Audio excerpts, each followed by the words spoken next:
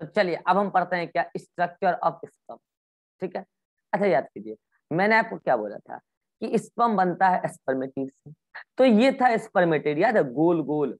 मैंने कहा था राउंडेड हैवी और इमोटाइल ऐसा मैंने क्यों बोला? क्योंकि एक हैप्लॉइड सेल में ऐसा थोड़ी कि साइटोप्लाज्म नहीं हुआ अच्छा खासा अमाउंट में साइटोप्लाज्म होगा। और हैप्लॉइड न्यूक्लियस है। राउंड शेप हो तो अलग बात है, लेकिन इतना साइटोप्लाज्म की वजह से ये इमोटाइल है, ये इसके अंदर अभी मोटिलिटी नहीं है। तो अगर ये चाहता है ये स्पम कि हम मोटाइल बने तो ये तो अभी तो स्पर्मेटिड अगर ये सेल चाहता है कि हम मोटाइल बने तो इसको अपने साइटोप्लाज्म को लूज करना होगा। अपने साइटोप्लाज्म के अमाउंट को घटाना पड़ेगा, तब ये हल्का होगा और केवल हल्का होने से काम नहीं चलेगा। अपने एनर्जी फॉर्मिंग एपरेटस माइटोकॉन्ड्रिया को भी स्पेशलाइज्ड वे में वर्क कराना पड़ेगा, ताकि खूब एनर्जी बने और खूब एनर्जी बनने से खूब मूवमेंट करे। ऐसा काम करना पड़ता है स्पर्मेटिड को। स्पर्मेटिड अपने अंदर साइटोप्लाज्म को लूज करता है धीरे धीरे तब जाके स्पम बनता है। और मैंने कहा था स्पम एक इलांगेटेड स्ट्रक्चर है। आज हम स्पम का ही स्ट्रक्चर पढ़ने वाले देखिए स्पम के स्ट्रक्चर देखिए, ये क्या प्लाज्मा मेम्ब्रेन? तो प्लाज्मा मेम्ब्रेन तो कभी गायब नहीं होगी। अच्छा बताइए, एक सेल के ऑर्गेनली में मैंने आपको क्या क्या पढ़ाया था? बहुत कुछ पढ़ाएगा न्यूक्लियस होता है माइटोकॉन्ड्रिया होता है, गोली बॉडी होता है एंडोप्लाज्मिक रेटिकुलम होता है राइबोसोम होता है सेंट्रियोल होता है, बहुत कुछ पढ़ाया था कि ना पढ़ाया था। सब कुछ डिस्ट्रॉय हो जाएगा साइटोप्लाज्म का। साइटोप्लाज्म का बोला मैंने साइटोप्लाज्म का। और साइटोप्लाज्म की बस दो चीज़ें रख ली जाएगी। एक अच्छा न्यूक्लियस तो पूरा रहेगा ही रहेगा। साइटोप्लाज्म की दो चीज़ें क्या? एक तो क्या? माइटोकॉन्ड्रिया और एक तो क्या? माइटोकॉन्ड्रिया एनर्जी देगा इसलिए उसको रखना है। और एक तो क्या? सेंट्रीओल ये क्यों रखेंगे? अभी बताएँगे रुक ये इसका दो दो काम है सेंट्रीओल का। बाकी साइटोप्लाज्म की सब कुछ डिस्ट्रॉय कर दी जाएगी। गोल्जी बॉडी एंडोप्लाज्मेटिकुलम है? इसके बाद एंडोप्लाज्मेटिकुलम राइबोसोम अरे सब कुछ, बोलो सब कुछ, खत्म, सब कुछ खत्म कर दो। तो बताओ साइटोप्लाज्म का अमाउंट घटेगा क्या? घटेगा, बिल्कुल घटेगा। अब देखते हैं घटने के बाद जो स्ट्रक्चर बनेगा, वो कैसा बनता है ठीक है? तो सुनना, मैंने क्या बोला कि गोल्जी बॉडी भी डिस्ट्रॉय हो जाती है, लेकिन गोल्जी बॉडी मरते मरते मरते मरते गोल्जी वसाइकल्स बना जाती है। और मैंने कहा था कि गोल्जी वसाइकल्स ही आगे चल के फ्यूचर में क्या बनाता है? लाइजोसोम याद आ रहा है? लाइजोसोम पढ़े थे। अरे गोल्जी वसाइकल से ही लाइजोसोम बनता है, बहुत याद है कि नहीं है? तो मैं कह रहा हूँ कि स्पर्मेटिड का गोल्जी वसाइकल्स मतलब गोल्जी बॉडी डिस्ट्रॉय हो जाएगा। लेकिन डिस्ट्रॉय होते होते होते क्या करेगा? गोल्जी वसाइकल बना जाएगा लाइजोसोमल बैग के फॉर्म और वो बैग इस टाइप इस टाइप से मिलता है, देखो, बता रहे हैं। जैसे कि मान लो कि बेल्ट नहीं होता इस टाइप से बेल्ट लाइक स्ट्रक्चर ऐसे। इस टाइप से।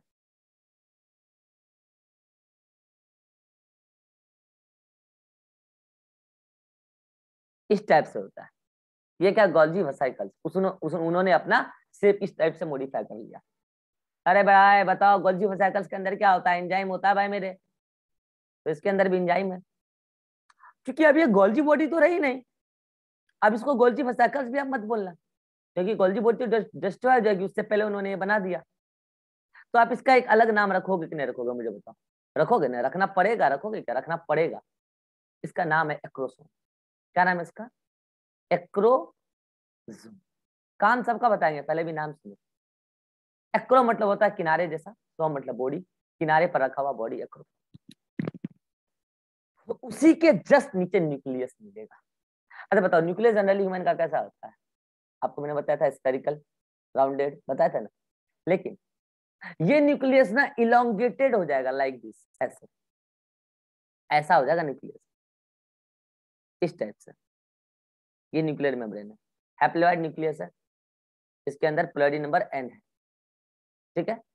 अच्छा बताओ, न्यूक्लियस के अंदर जब सेल डिवाइड नहीं कर रही है सेल बन चुकी है चाहे हैप्लोइड डिप्लोइड अंदर में क्या मिलता है? रिवा बताएगी क्रोमेटीन या क्रोमोजोम सर फिर से क्वेश्चन बोलिए एक नॉर्मल सेल जो डिवाइड नहीं कर रही है उसके सेल के न्यूक्लियस के अंदर क्या मिलता है? क्रोमेटीन या क्रोमोजोम क्रोमोसोम गलत। सेल डिवीज़न पढ़िए दोबारा। क्या मिलता है Atiq chromatin chromatin cell division में बहुत बढ़िया से पढ़ा है क्रोमेटीन मिलता है।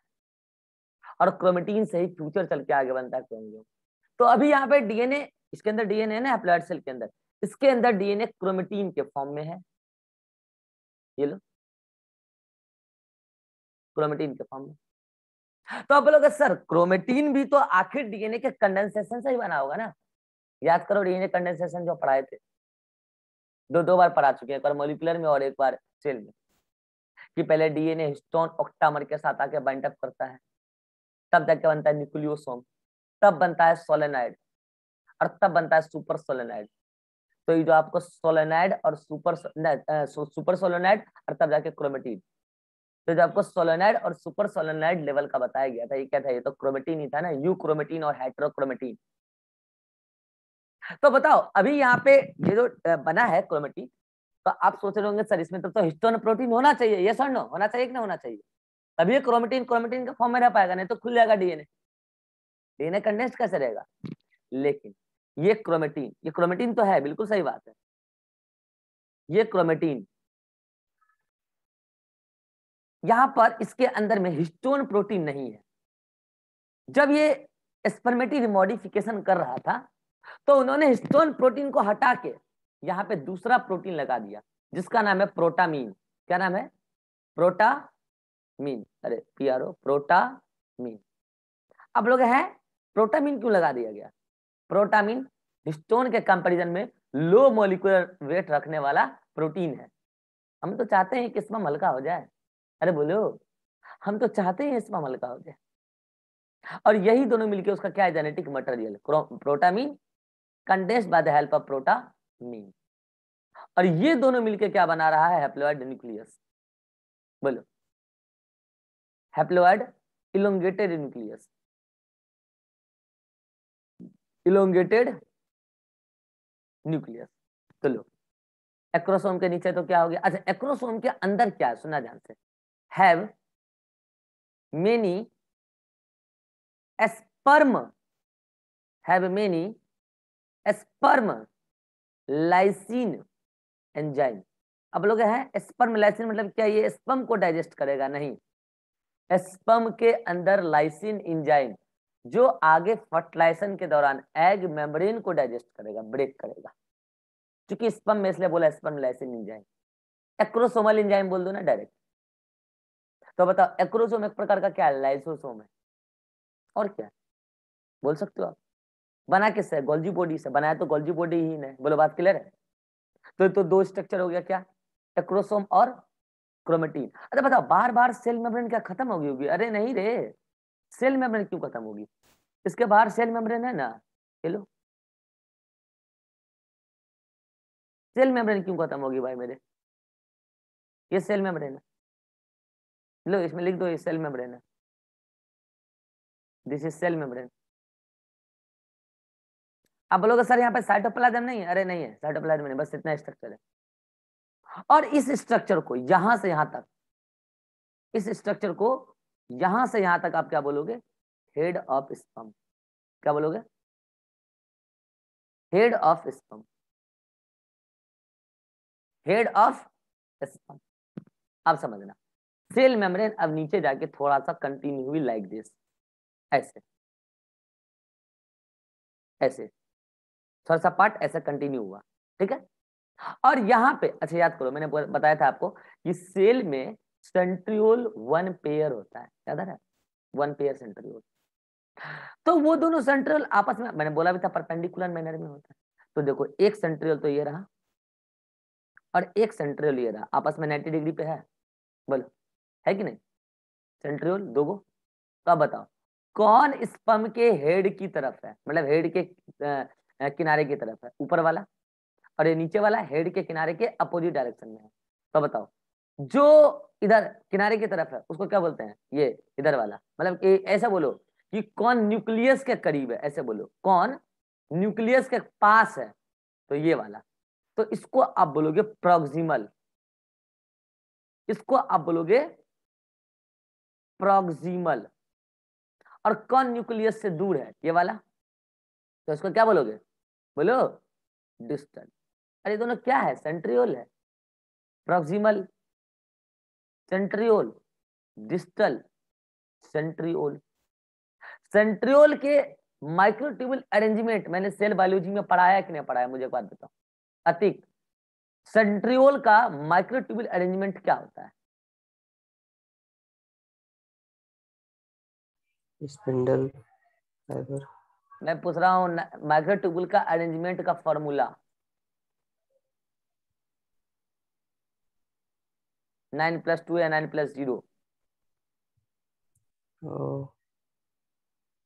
nine plus two nine plus two centriole में नाइन प्लस टू होगा।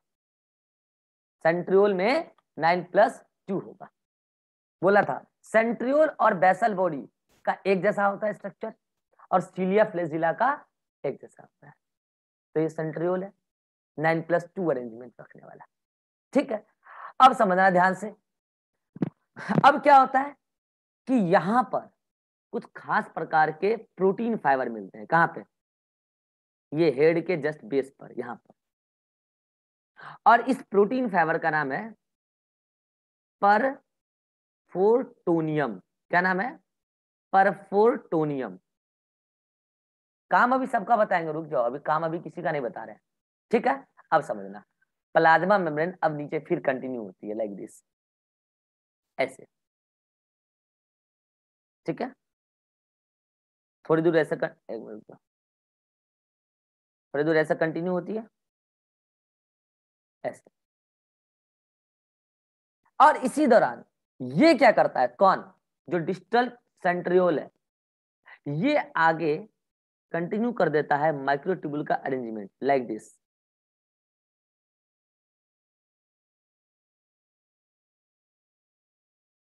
ऐसे।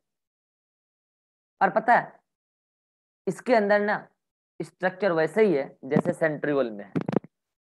जैसे सेंट्रियोल में मतलब भाई इसको आप थ्री में समझने की कोशिश करो। किनारे किनारे नाइन माइक्रोट्यूबुल डबलेट के फॉर्म में, और सेंटर पे दो सिंगलेट के फॉर्म में। और ये पूरा का पूरा आपको अगर ये आपने एलएस काटा है ना स्तंभ का, आप तो लॉन्गिट्यूडनल सेक्शन पढ़ रहे हो ना तो ये ऐसे करके दिखेगा। इसको पता है क्या बोलते हैं? इसको बोलते हैं एक्जोनीम क्या बोलते हैं इसको? एक्जोनीम या एक्जोनीमल फिलामेंट या एक्जोनीमल फिलामेंट बताओ अगर डिजिटल सेंट्रियोल से ही ओरिजिनेट हुआ है एक्जोनीम और डिस्टल सेंट्रियोल का अरेंजमेंट है नाइन प्लस टू तो एक्सोनिम का क्या रहा होगा? नाइन प्लस टू इसका भी नाइन प्लस टू ही रहा होगा। और बताओ अगर ऐसा है कि इससे आगे माइक्रोट्यूबुल अरेंज हो रहा है सेंट्रियोल लाइक मैनर में तो क्या हम इस डिस्टल सेंट्रियोल को बेसल ग्रेन्यूल्स बोल सकते हैं? बेसल बॉडी की तरह एक्ट कर रहा है ये। बेसल ग्रेन्यूल्स बोलो। बोल दिया। अब समझना यहाँ पर ये क्या है? Nine axoneme. ये एक्सोनिम यही खत्म नहीं हुआ है। ये आगे तक कंटिन्यू हुआ है। आगे बहुत लंबे दूर तक कंटिन्यू हुआ है। आगे बहुत लंबे दूर तक कंटिन्यू हुआ बहुत लंबे दूर तक। ठीक है?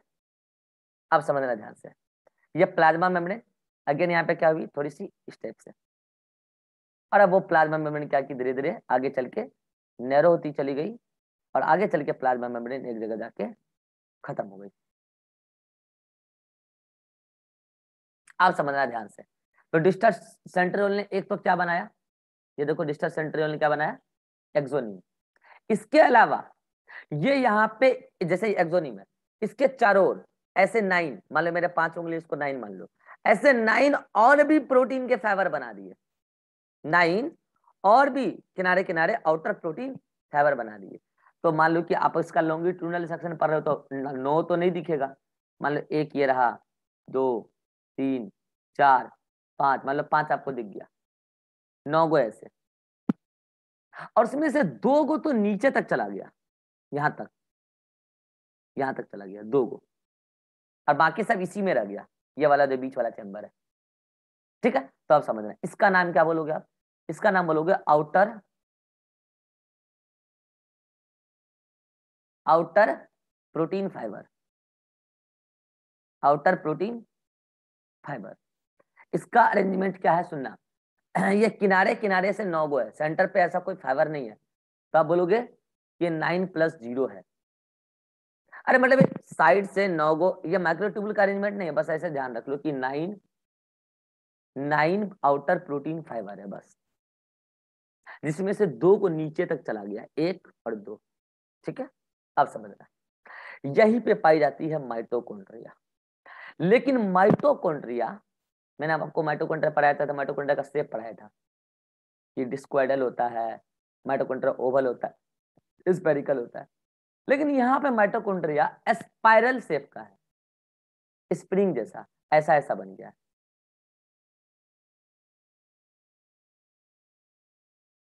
लाइक दिस समझ रहे हो? ये माइटोकॉन्ड्रिया सिंगल माइटोकॉन्ड्रिया वो इस टाइप से क्या हो गया? मॉडिफाई हो गया। ये है माइटोकॉन्ड्रिया अब बताओ। ये तो है माइटोकॉन्ड्रिया माइटोकॉन्ड्रिया और माइटोकॉन्ड्रिया के इस स्ट्रक्चर का पता लगाने वाले साइंटिस्ट माइटोकॉन्ड्रियल लेयर बोल दो लेयर माइटोकॉन्ड्रिया के इस लेयर का पता लगाने वाले साइंटिस्ट है निबैर्न कर्ण इसलिए इसको क्या बोलते हैं? Nebenkern sheath nebenkern sheath sparsely arranged है और मैंने कहा ना साइटोप्लाज्म पूरी तरीके से खत्म हो जाएगा। बस किनारे किनारे एक जगह बचा रहेगा, बस यहाँ पे। बस साइटोप्लाज्म की एक लेयर बच गई है। क्योंकि सेल है तो साइटोप्लाज्म तो थोड़ा बहुत होना ही चाहिए। तो ये क्या है? साइटोप्लाज्मिक लेयर ये क्या है? साइटोप्लाज्मिक लेयर साइटोप्लाज्मिक लेयर अच्छा इस साइटोप्लाज्मिक लेयर को बोलते हैं मेनचित क्या बोलते हैं? मेनचित भाई, बहुत सारे टर्म आ गए ध्यान रखना। देखो फॉर्चित आया था फीमेल में। याद है? लेबिया माइनोरा जहाँ पे फ्यूज किया पीछे की तरफ़, फिर एनएस की तरफ़ जा रहा था। फोर्चित याद आया? यहाँ मेनचित मैन से रिलेटेड एक और बताया था मिजोवेरियम कुछ याद आ रहा है? मिजोवेरियम ये सब चीज़ याद रखना, ठीक है? हाँ तो ये हो गया मैनचित ठीक है? अब ये पूरी पार्ट कहा? यहाँ से लेकर यहाँ तक, ये एक अलग नाम से जाना जाएगा, जिसमें परफोटोनियम है और सेंट्रियोल है। फिर यहाँ से यहाँ तक, ये एक अलग नाम से जाना जाएगा, उसके बाद नीचे अभी बता रहे हैं इसको बोलेंगे हम लोग नेक ऑफ़ स्पम क्या बोलेंगे इसको? नेक ऑफ़ स्पम इसको हम लोग बोलेंगे मिडिल पीस ऑफ़ स्पम क्या बोलेंगे इसको हम लोग? मिडिल पीस ऑफ़ स्पम तो ये हेड हो गया, ये नेक हो गया, ये मिडिल पीस हो गया। अब यहाँ से, यहाँ तक वाला पोर्शन जहाँ तक दो गो क्या चला गया है? ये वाला आउटर प्रोटीन फाइबर इसको हम लोग बोलते हैं प्रोक्सिमल पार्ट ऑफ़ क्या बोलते हैं इसको हम लोग? प्रोक्सिमल पार्ट ऑफ़ टेल और इसका अरेंजमेंट आप बताओगे? देखो किनारे किनारे दो गो प्रोटीन फाइबर है। टू प्लस एक्सोनिम गया नीचे। एक्सोनिम का क्या nine plus two two plus nine plus two उसके बाद यहाँ से लेके अंत तक। ये पूरा पार्ट कहलाएगा digital part of digital part of tail या इसी को बोलते हैं हम लोग फ्लैजिलम क्या बोलते हैं इसको हम लोग? फ्लैजिलम और इसका अरेंजमेंट जो एक्सोनिम का, वही इसका भी होगा। नाइन प्लस टू और इन दोनों को मिला के हम क्या बोलेंगे? टेल टेल ऑफ़ स्पम क्या बोलेंगे? टेल ऑफ़ स्पम ये होता है स्पम का स्ट्रक्चर कितों को समझ में आ गया स्पम का स्ट्रक्चर अब इसमें एक एक पार्ट का काम भी बता देंगे, रुक जाओ। स्ट्रक्चर समझ में आ गया? कुछ नहीं भाई सिंपल है। अब आप देखो, कहाँ ये स्पर्मेटीर गोल गोल हुआ करता था? और कहाँ ये स्पम इलोंगेटेड शेप का है? है कि नहीं? चलो, अब एक एक करके मैं आपको इसका काम बता रहा हूँ। देखो सबसे पहले इसमें क्या है? एक्रोसोम इसका स्क्रीनशॉट ले लो जल्दी से। क्योंकि कुछ चीज़ें आपको इसमें नोट्स में लेवलिंग नहीं मिलेगी। अपडेट कर लेना नोट्स को, पढ़ के। वैसा होगा तो मैं फ़ोटो भेज दूँगा। अपडेट कर लेना। चलो तो अब एक एक करके इसका ना काम देखते हैं। देखो सेल मेम्ब्रेन तो खर सेल मेम्ब्रेन है। वो तो किसी भी सेल में मेम्ब्रेन तो होना ज़रूरी है, ठीक है? तभी तो सारे चीज़ अंदर में लोकेटेड रह पाएँगे। इसमें सबसे आगे किनारे पे क्या एक्रोसोम तभी तो नाम पर एक्रोसोम इसमें ना कुछ एंजाइम है। कौन सा एंजाइम है? मैं आपको फर्टिलाइजेशन के दौरान बता दूँगा। इसमें ना कुछ एंजाइम है। ये एंजाइम क्या करता है? जब उस सेकेंडरी उसाइट के दीवारों को तोड़ के अंदर घुसना होता है तो उसमें हेल्प करता है ये एक्रोसोम का एंजाइम और उस रिएक्शन को कहते हैं एक्रोसोमल रिएक्शन तो बताओ एक्रोसोम का काम समझ में आ गया? Help in penetration of egg membrane during fertilisation clear अब आते हैं न्यूक्लियस। अरे मेरे भाई न्यूक्लियस नहीं होगा तो क्या केवल फीमेल अपना न्यूक्लियस देगी?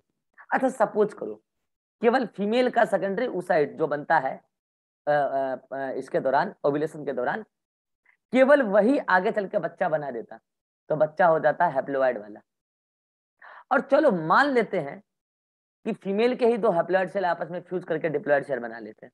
मान लेते हैं उससे बच्चा बन जाता। है तो फिर मेल का नेचर में कोई रोल रहता क्या? तो फिर ह्यूमन मेल रहता क्या इस दुनिया में?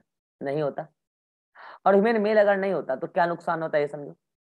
मेल अपना स्पर्मेटोजेनेसिस किया फीमेल अपना स्पर्मेटोजेनेसिस की पता है, दो दो बार मियोसिस हो गया।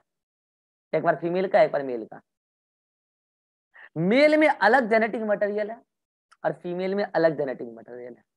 इन दोनों के फ्यूजन से बच्चा आएगा तो बच्चा पेरेंट से अलग होगा। क्योंकि एक बच्चा का अपने माई से तेईस क्रोमोजोम ही पूरी तरीके से मिलेगा, तेईस नहीं मिलेगा। बाप से तेईस मिलेगा, तेईस नहीं मिलेगा। तो बच्चा जेनेटिक कंस्टिट्यूएंट के मामले में पेरेंट की तुलना में एक पेरेंट से फिफ्टी परसेंट ही मैचिंग रखता है। ये बात मैंने डीएनए फिंगरप्रिंटिंग में भी बताया था, अगर याद हो तो। बोला था ना? तो कुल मिला के बात ये है कि अगर ज़्यादा नंबर ऑफ़ सेल मियोसिस के आएँगे तो ज़्यादा जेनेटिक वेरिएशन लाएगा, क्योंकि मियोसिस के दौरान क्रॉसिंग ओवर होता है। और इसीलिए ये स्पम ये भी मियोसिस का प्रोडक्ट है। और उधर वो सेकेंडरी साइट वो भी मियोसिस का प्रोडक्ट है। अब ऐसा मत सोच लेना कि सर उधर जो दो को हैप्लॉइड सेल होगा, वो भी तो मियोसिस का प्रोडक्ट है। हाँ है। लेकिन उन दोनों के जेनेटिक मटेरियल आपस में एकदम सेम रहेंगे ना। स्पम से तो अलग नहीं होंगे ना। मतलब स्पम तो उससे अलग रखेगा ना। कुल मिला मैं ये कहना चाह रहा हूँ कि अगर ये स्पम अपना न्यूक्लियस लेके वहाँ जाके अपना जेनेटिक मटेरियल देगा तो जो बच्चा आएगा, उसमें वेरिएशन ज़्यादा होगा। यही काम है न्यूक्लियस का, कि वो जेनेटिक मटेरियल डोनेट करेगा अगले जनरेशन को, बस। और कोई काम नहीं है न्यूक्लियस का। चलो, अब आते हैं इस परफरटोनियम में। मैंने क्या बोला कि एक्रोसोम एग की मेम्ब्रेन को गलाएगा, तोड़ेगा, लेकिन स्पम उस एग को फिर पेनिट्रेट करके अंदर चला जाए। तो अगर आगे का पार्ट रिजिड नहीं होगा तो क्या अंदर जाना संभव है? नहीं ना। तो ये परफरटोनियम क्या करता है? ये प्रोटीन फाइबर है। ये प्रोटीन फाइबर है। ये क्या करता है? इस पूरे स्पम के हेड के बेस को स्ट्रॉन्ग बना के रखता है। उसी के बेस पर है ना? स्ट्रॉन्ग बना के रखता है। ताकि एक्रोसोम का इंजाइम एग की मेम्ब्रेन को गला दे और पूरा स्पम जल्दी से अंदर घुस जाए। तो परफेक्टोरियम का काम हो गया। अब आता प्रोक्सिमल सेंट्रियोल प्रोक्सिमल सेंट्रियोल का काम अभी मैं हल्के से बोलूँगा, बाद में डिटेल में पढ़ाऊँगा। जब अंडा फर्टिलाइज हो जाता है तो फर्टिलाइज्ड एग में पहला माइटोटिक डिवीज़न क्लीवेज चलाने का काम करता है प्रोक्सिमल सेंट्रियोल पहला माइटोटिक डिवीज़न चलाने का काम करता है प्रोक्सिमल सेंट्रियोल बस, इतना ही बोलूँगा। अब आ जाओ डिस्टर सेंट्रियोल डिस्टर सेंट्रियोल का एक ही काम है एक्जोनिम बनाना। क्या काम है? एक्जोनिम बनाना। अब आ जाओ एक्जोनिम एक्जोनिम का एक ही काम है, ये नीचे जाके पूरे टेल रीजन में और ये टेल रीजन पीछे की तरफ़, देखो अरे एक्सोनिम का स्ट्रक्चर याद है ना नाइन प्लस टू अरेंजमेंट में एटीपेज एंजाइम की एक्टिविटी होती है डाइनिन आर्म में। भूल गए क्या? डाइनिन आर्म भूल गए क्या? एटीपेज एक्टिविटी दिखाने वाला प्रोटीन तो वो एटीपेज एक्टिविटी दिखाएगा, और इससे क्या होगा? इसमें मूवमेंट आएगा, और पीछे का कोई स्ट्रक्चर मूव करेगा तो ये पूरा स्ट्रक्चर आगे मूव कर जाएगा। ये अगर ऐसे ऐसे हिलेगा तो। अब लोगों सर एनर्जी कहाँ से आएगा एटीपेज एक्टिविटी दिखाने के लिए? तो ये माइटोकॉन्ड्रिया की जो स्पायरली सीथ है, ये एनर्जी बना के देगी माइटोकॉन्ड्रिया को। माइटोकॉन्ड्रिया मतलब एनर्जी बना के देगी एक्सोनीम को, पूरे टेल पार्ट को। मिडिल पीस में ये नहीं होगा मूवमेंट नहीं होगा। मूवमेंट होगा किसमें इसमें टेल रीजन में। तो टेल का काम समझ में आ गया help in swimming of sperm cytoplasm थोड़ा बहुत न्यूट्रिएंट देगा। और आउटर प्रोटीन फाइबर क्या कर रहा है? बस वो मिडिल पीस को चारों ओर से स्ट्रेंथ दे रहा और कोई काम नहीं है उसका। अब पता है, इतना सब कुछ के बाद एक स्ट्रक्चर और पाया जाता है। क्या? यहाँ पे एक सेंट्रियोल रिंग के फॉर्म में पाया जाता है। आप लोग सर है हैप्लोइड सेल में एक और सेंट्रियोल हाँ यस रिंग के फॉर्म में ये रिंग सेंट्रियोल है। ये क्या है? रिंग सेंट्रियोल या इसी को बोलते हैं एन्यूलस इसी को क्या बोलते हैं? एन्यूलस अब लोग सर, इसका क्या काम है? अभी तक नोन नहीं है।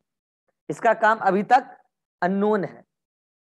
अच्छा इस स्ट्रक्चर को ढूँढने वाले साइंटिस्ट हैं जेनसन्स इसलिए इसको Z E N S one Jensen's Jensen's ring भी कहते हैं। जेनसन्स जेनसन्स रिंग भी कहते हैं। काम इसका एडजेक्ट किसी को अभी तक नहीं पता है। बस पाया जाता है, ये पता है। अब बताओ। अब आप इस पूरे स्पम के एक एक स्ट्रक्चर के बारे में जानते हो कि नहीं जानते हो? किसका क्या काम है? अब मुझे बताओ। हेड तो हेड हो गया चलो ठीक है नेक तो नेक हो गया सेंट्रल लगता है। अगर मैं बोलूँ इन स्पम के चार part head neck middle pistol इसमें से कौन एनर्जी चैम्बर की तरह कर रहा है? बोलो रिवा कौन एनर्जी चैम्बर है?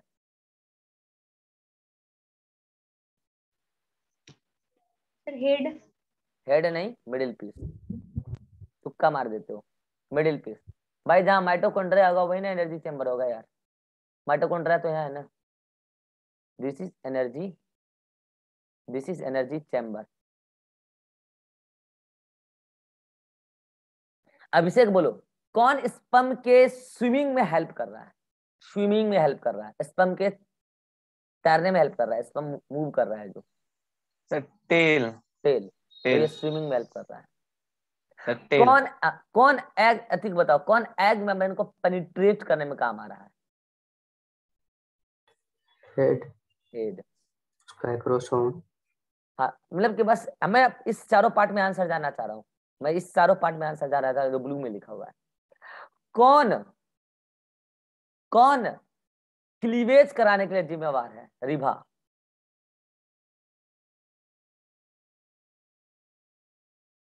रिभा।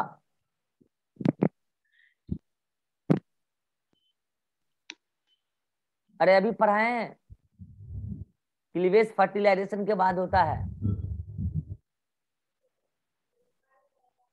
बंद करो तो माइक हेड होगा। ऐड नहीं होगा। अतिक बोलो। नेक नेक्स्ट सही आंसर है। रिवा क्लास में ध्यान बढ़ाओ। अभी बताइए प्रोक्सिमल सेंट्रल का काम ही है हेल्प इन क्लीवेज तो ये कहाँ है? नेक वाले रीजन में तो नेक हेल्प करेगा क्लीवेज में। ये सारे पार्ट हैं स्पम के और स्पम का सारा पार्ट का मैंने आपको फ़ंक्शन समझा दिया। क्लियर अब मैं क्या कर रहा हूँ? इसका स्क्रीनशॉट लेना है, ले लो जल्दी से। अब मैं क्या कर रहा हूँ ना कि जो मिडिल पीस है ना ये मिडिल पीस जो आपको दिख रहा है मैं इसका ट्रांसफ़र सेक्शन काटने जा रहा हूँ। इसका ट्रांसफ़र सेक्शन काट के आपको पढ़ाऊँगा। पढ़ाऊ क्यों पढ़ा रहा हूँ? आपको थोड़ा सा अंडरस्टैंडिंग बेटरली डेवलप हो जाएगा। ठीक है? देखो। आ जाओ ट्रांसफ़र सेक्शन तो बताओ ट्रांसफ़र सेक्शन में किनारे किनारे तो क्या दिखेगा? प्लाज्मा मेम्ब्रेन इसमें कोई शक है क्या? बोलो। ये क्या प्लाज्मा मेम्ब्रेन है कि नहीं है? बोलो। इसमें लिख दो, क्या है ये? प्लाज्मा मेम्ब्रेन है। प्लाज्मा मेम्ब्रेन ठीक है? अच्छा बताओ। आ, मैं किसका स्ट्रक्चर पढ़ा रहा हूँ? मैं आपको पढ़ा रहा हूँ स्ट्रक्चर किसका? मिडिल पीस का। तो इसके चारों ओर आपको स्पम का लेयर दिखेगा क्या दिखेगा? एकदम पतला सा लेयर स्पम का। बोलो। सर स्पम का मतलब साइटोप्लाज्म का। साइटोप्लाज्म का एकदम पतला सा लेयर दिखेगा कि नहीं दिखेगा? बिल्कुल दिखेगा भाई। एकदम पतला सा लेयर है।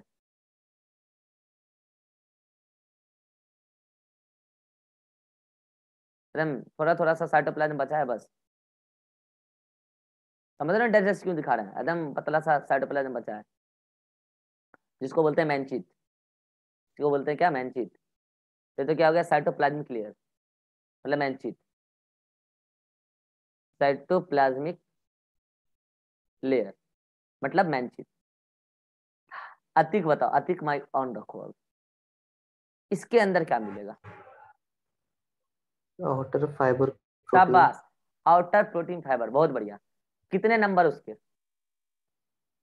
नाइन नाइन तो इसमें ये कैसे होगा? ऐसे होगा? ऐसे ऐसे? क्योंकि मैं आपको ट्रांसफ़र सेक्शन पढ़ा रहा हूँ। अंदर की तरफ़। लो मैं नाइन यहाँ पे बना देता हूँ। ये देखो। एक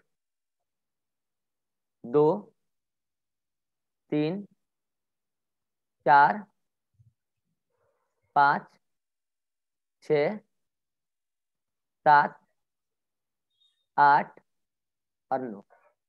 इसका नाम लिख दू मैं जल्दी से? क्या ये? आउटर आउटर प्रोटीन फाइबर आपको नंबर भी दिख रहा होगा यहाँ पे। अब उसके अंदर बताओ अतिक क्या मिलेगा? एक्सोनिम एक्सोनीम मिलेगा लेकिन अब एक्सोनीम का स्ट्रक्चर तुम्हें बताना है कि मैं नाइन प्लस टू को कैसे बनाऊँ। नाइन इसी तरह होगा बीच में दो होगा नाइन सिंगलेट होगा कि डबलेट होगा? डबलेट। बिल्कुल डबलेट होगा। सिंगलेट होगा। हाँ तो ये रहा अब देखो मैं क्या बना रहा हूँ माइक्रोटिब्यूल तो ये एक बाहर वाला माइक्रोटिब्यूल डबलेट में बाहर वाला अभी डबलेट कर देंगे रुक जाओ। अभी डबलेट कर देंगे। अब आप बोलोगे सर स्पम का ट्रांसफ़र सेक्शन एनसीईआरटी में तो नहीं है। हाँ नहीं है पढ़ा रहा हूँ। मेडिकल कॉलेज में काम आएगा। और कुछ? चलो, उसके अंदर क्या है? एक और माइक्रोट्यूब्यूल हमने डबलेट होगा।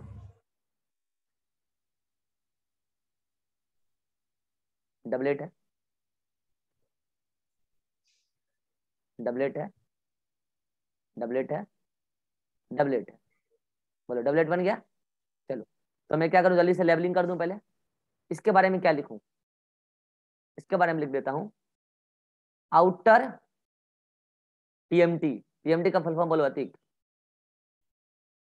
पेरिफेरल माइक्रोट्यूब्यूल हाँ इसके बारे में inner PMT peripheral microtubule Atiq इन दोनों को मिला के क्या बोलेंगे? डब डबलेट डबलेट ठीक है? अब मुझे बताओ। इन दोनों को, जैसे कि ये रहा एक डबलेट दूसरा डबलेट इन दोनों को जोड़ने वाला लिंकर भी हुआ करता था, कुछ याद है? ये देखो, इसके इनर वाले और इसके आउटर वाले, ऐसे करके। भूल गए क्या? अरे भूल गए क्या? ऐसे करके। सेल चैप्टर पढ़िए, याद आ जाएगा आपको। तो ये तो क्या हो गया? डबलेट लिंकर इसको बोलते थे ए बी लिंकर वहाँ पे डबलेट लिंकर है कि नहीं? बोलो। बताओ अतिक सेंटर पे क्या बनाएँगे? माइक्रोट्यूब्यूल दो सिंगल सिंगल तो एगो ये बनाए इस कलर से हम्म। और एगो अलग कलर से बनाए कि सेम कलर से?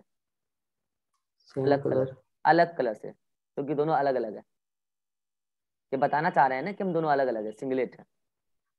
ठीक है? और ये प्लाज्मा हम्म। मेम्ब्रेन से यहाँ पे भी घिरी होती है सब आपको हम पढ़ाए हुए थे वहाँ पे। ऐसे। प्रोटीन ऐसे शीत होता है जो इनको ऐसे करके घेर के रखा हुआ होता है। ठीक है?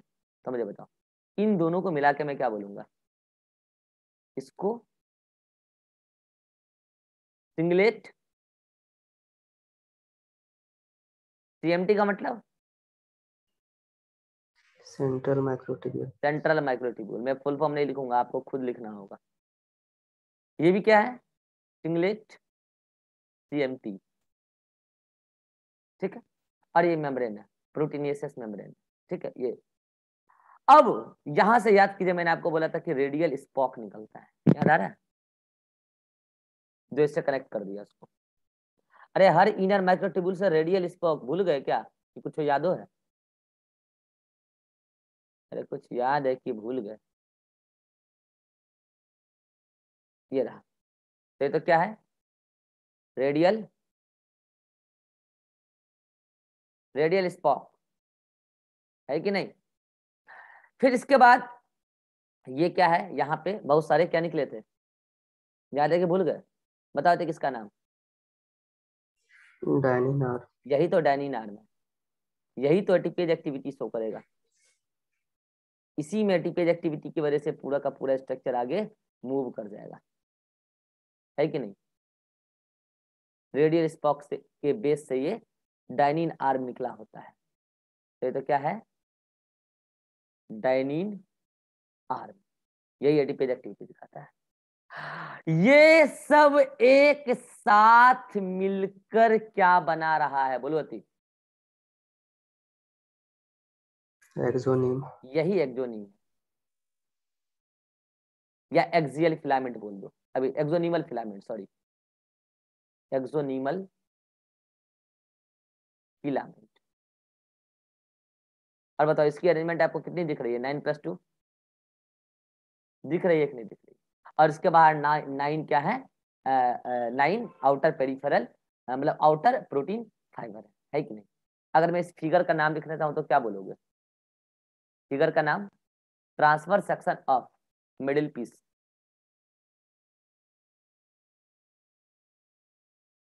middle piece of sperm बोलो। कितना कोई स्ट्रक्चर क्लियर हो गया? करो तो। कितनों को स्ट्रक्चर क्लियर हो गया? करो जल्दी से। स्क्रीन शॉट लो। स्क्रीन शॉट जल्दी से। ले लिए। चलिए, अब आते हैं हम आपके नोटबुक पर। यहाँ पे जाके स्पम का स्ट्रक्चर समाप्त हुआ जितना मैंने पढ़ा दिया इतना नहीं पढ़ा करो